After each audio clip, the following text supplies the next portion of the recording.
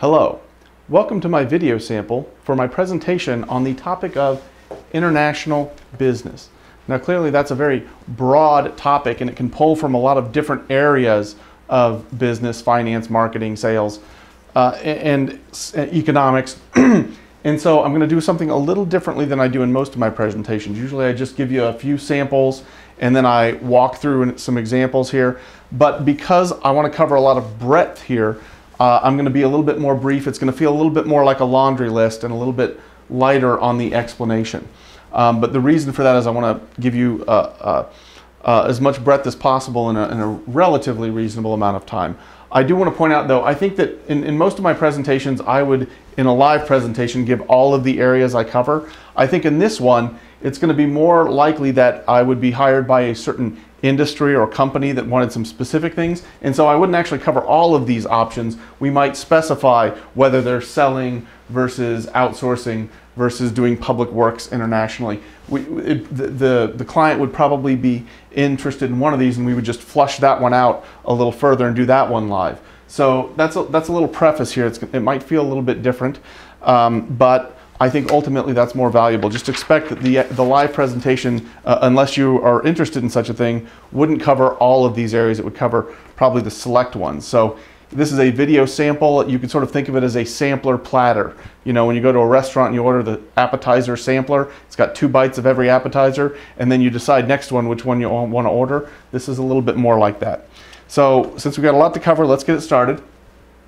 Um, the first one I want to talk about is, oh, and I should also mention on that, if you're really interested in one of these areas, some of them could be flushed out into their own presentation. So for example, you could probably do a presentation just on the economic considerations of going international or just the cultural considerations. So let's get started. Um, let's talk first about the business model where you're trying to sell into a new market. You're bringing your product or service or business into a new uh, country, essentially. And it's important to note, we're going to talk about that in the context of countries, but sometimes you can think of it in, in terms of market entry as well, maybe a, a new market in a, or segment in a country you're already in. But the first issue that you'll face is why, uh, the reasons for entering this country. Obviously, the, the most intuitive one is probably growth. You want to grow your business, increase revenue, increase profits. Um, and that is uh, oftentimes the reason. It's also important to note sometimes there's a defensive reason uh, as well, or uh, as an alternative. And by defense, I mean if you have uh, a, a, domestic market and you have people from other countries enter. Businesses from other countries entering your market, you might want to respond in kind just so that they don't have a safe haven to raise money to fund their investment in your market. And also if there are, that's particularly true if there are scale economies, because if there's a sort of a high fixed cost of production, then they, then the, the uh, expanding into another market is just a variable cost. And that might put you at a disadvantage if, if, if your domestic market is both your fixed cost and your variable cost. So you want to make sure that it's not just incremental business to a competitor and therefore better for them than it is for you. Uh, an example of that would be the brewers. A lot of the brewers have been globalizing between a couple of big players like uh, Anheuser-Busch InBev and uh, SAB Miller, which started as South African brewers. Um, and now that they have gobbled up a lot of the best assets internationally, some of the companies that weren't as aggressive um, uh, in terms of being offense now find themselves on the defense. They're trying to pick up some assets to build some scale to compete with these giants.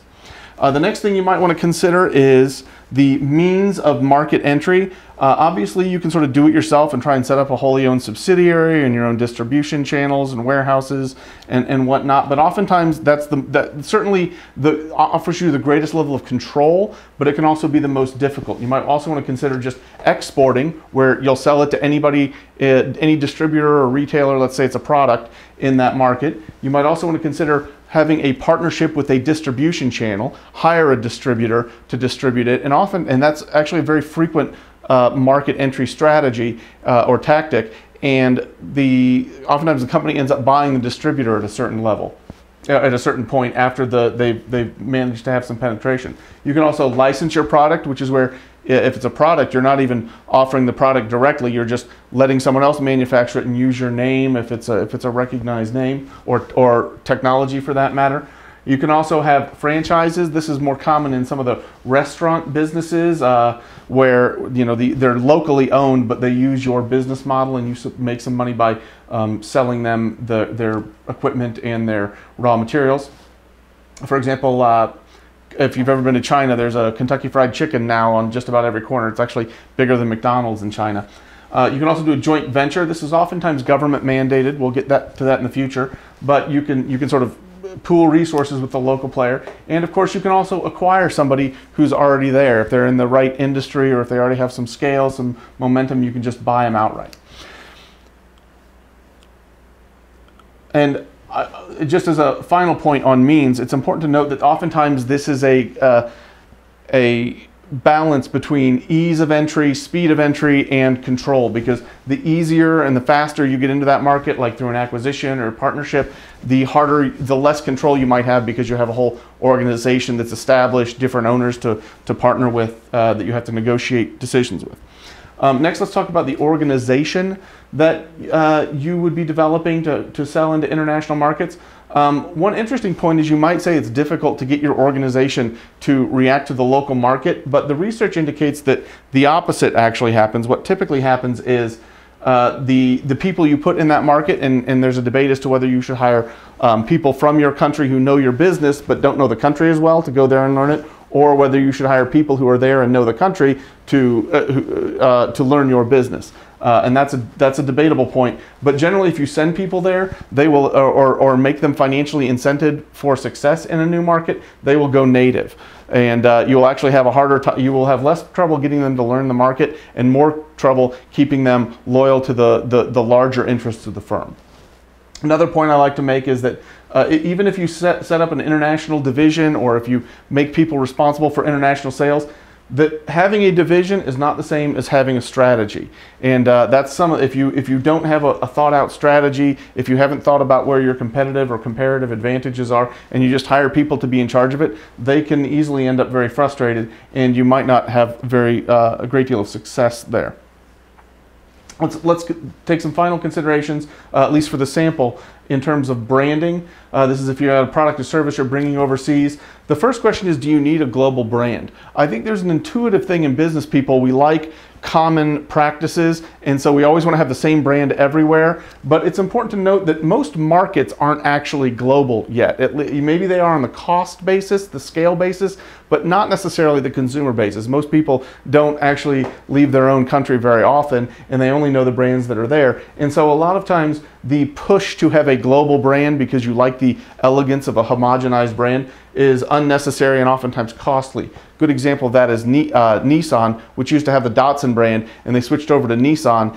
and uh, it, it, it, didn't it didn't it, they they gave up on a brand that already had a lot of brand equity to it, and some people would say they're still uh, living down the problems that that created uh, these many years later. Another thing you need to ask yourself if, if you're offering a product or service is how, how much do you adapt to the local market versus standardized? And this can go either way. This can be the, you can uh, adapt the, uh, pardon me, either way referring to the brand or the product service.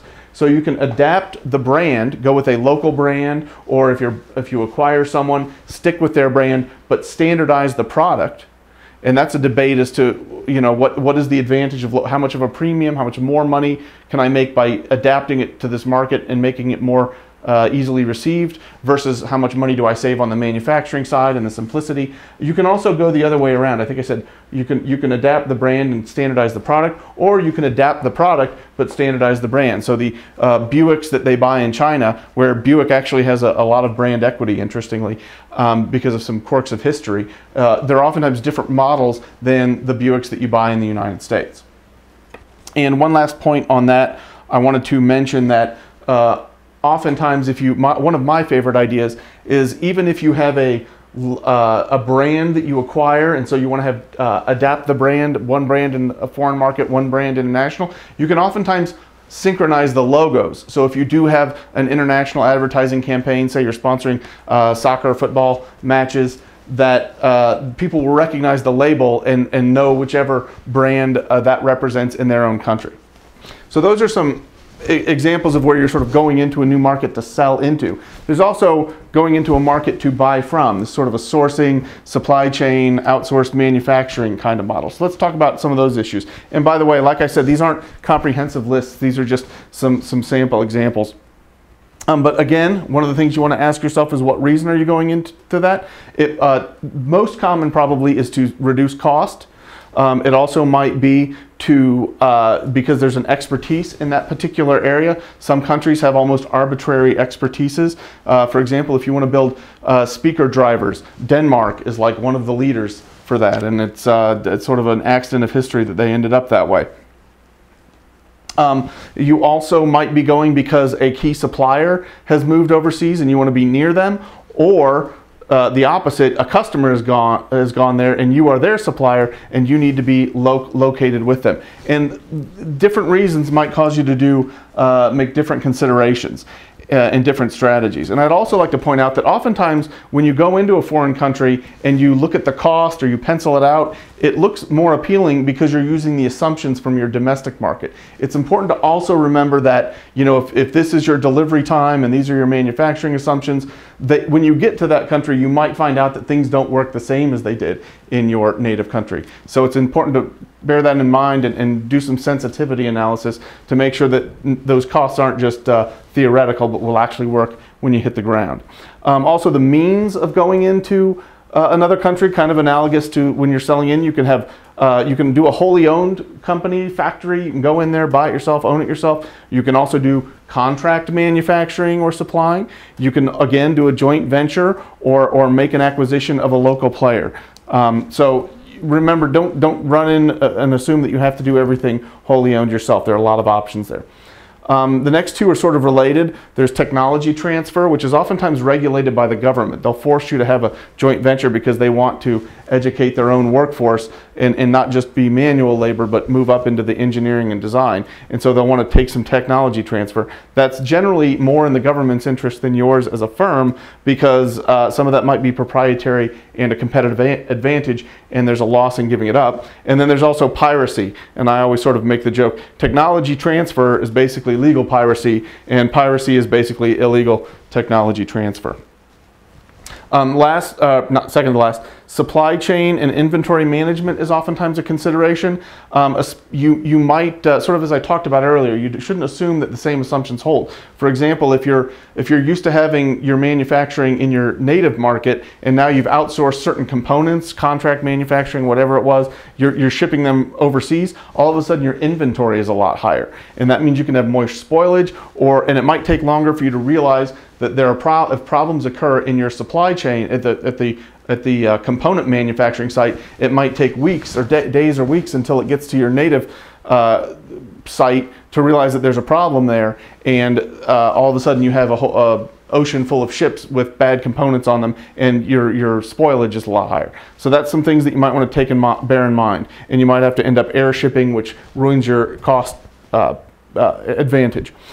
And the last one I want to talk about for sourcing is the regulations and standards. There, there are oftentimes different environmental standards and work conditions at other company at other countries. And I like to point out that these aren't necessarily. Uh, oftentimes they're lower standards if you're a developed country going to a developing. Uh, if you're something like an, a, a, a lightly regulated um, industry in a something like an American sort of an anti-regulatory environment selling into Europe, you might actually have more regulations on some of the uh, business practices, and that goes for selling into as well. There's probably stricter antitrust in some parts of the world than in America.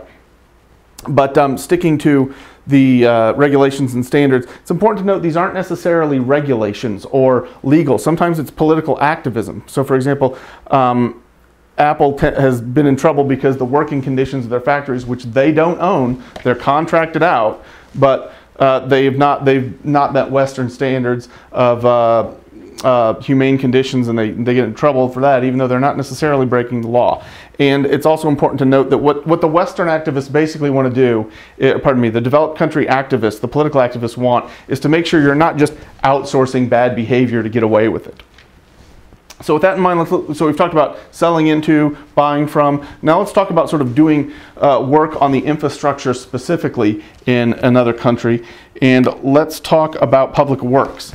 And this is kind of a grab bag of things. It could be a capital project. You, uh, Enron, for example, built a power station in India, and they had to deal with the Indian government to do that. You might be building road, bridge, um, or infrastructure project. You might also just be taking over an existing uh, uh, uh, government uh, reg or regulated area, like uh, buying a phone system from another country or buying their uh, water processing facility or operate or going to just manage that operating facility. Oftentimes that happens when a country uh, owns nationally owns the, the government owns one of those utilities and they decide to spin it out and that's where you have to and, and, and they'll allow foreigners to bid on that uh, to purchase it. Now uh, we're going to get into some dangers of that expropriating some risk but it's also important to note that sometimes they like to outsource it because now that it's private private companies can make tough decisions like getting rid of overstaffing uh, easier than the government can. Um, in terms of dividing risk that that's where the question you have to negotiate is how much risk do you as a company take versus how much risk does the government take in that uh, uh, equation. And that, that example I gave you where Enron built a, an energy facility in India, they very cleverly, uh, for Enron, very cleverly got the government to almost assume all the risk, including some of the foreign exchange risk and some of the regulatory risk and tech, uh, technology risk. I mean, it's like it was almost just a, a free money contract for them. And uh, that's great work if you can find it. If you're a government agent, that's not necessarily what you want to do. You want to make sure that they are taking risk for the companies investing, take risk commensurate to their profit. Now let's talk about, so those are sort of the different uh, industry models that you can run into internationally. Let's talk a little bit about some government issues. Um, first of all, they tend to favor local uh, manufacture, local businesses and that can be uh, an obstacle. For example, one thing is they might make you do a joint venture because they don't want to see you run their local industries out of town, and that means you got to split decision making. Another uh, example of this is when PepsiCo tried to buy Danone, the Danone, the uh, the yogurt maker. The French ruled government ruled that yogurt is a strategic industry to prohibit that acquisition. So there, you get some almost comical um, instances there. It's also important to note that uh, or another good example is uh, when there's a Walmart went into China, as did Carrefour, which is a European uh, large retail chain, went into China. And Carrefour went in and developed everything quickly because they just adopted their European model. Walmart moved in more slowly, but they did a lot more local sourcing. And so a lot of the local governments who decide who gets permits and whatnot favor Walmart because they, they put more jobs in the community. And that's one of those uh, examples we talked about earlier with the balance between speed and uh, uh, sustainability or longevity, short-term versus long-term thinking. Also, government changeovers can be a problem. Um, if, if the, oftentimes if you make a deal with a government and then they get voted out of office or overthrown, uh, they the the new government will say, well, that was that was that was a deal you had with them. I'm not them, and and, and that deal is no longer valid. And if you invested, they can essentially get your uh, get the benefit of your investment for free. Um, that builds that flows nicely into my next point, which is about expropriation, which is where uh, the the government might nationalize your business um, if you uh, if, if they think there's an advantage to it that's particularly prone for capital projects. They feel very comfortable. They might not want to buy soda makers, but they might be very comfortable buying um, uh, utilities, bridges, things like that, infrastructure pieces. So they'll get you to fund it and then they'll expropriate it. And it's important to note that we oftentimes have trade agreements, free trade agreements, but trade agreements do not cover uh, what's called FDI, foreign direct investment. For FDI being if you spend money to build something there, that's not free, that's not covered by a free trade agreement. Also, it's important to note, even if they don't literally nationalize it or expropriate it, they can oftentimes do that effectively. So they might not want title of your uh, bridge or your water processing factory, but they might decide to put a 95% tax on just facilities that, uh, just the facilities that you own uh, by writing the, the, the regulation very narrowly. There's some government risks. Let's talk about some economic risks. We obviously have some volatility and some uh, economic risk. It's very common to sort of think of that as an emerging market, developing market problem. But if you look at recent times and see what we have in Greece, Spain, or Ireland, you might see that that's not exclusively uh, a risk to emerging markets. Also, foreign exchange. This is, uh, or currency. Uh, if the, if the currencies are different, differently denominated. Um, that can have impacts on your business. For example, if you go into a company, uh, country because they have low cost, but then their currency appreciates, uh, effectively that cost advantage can go away.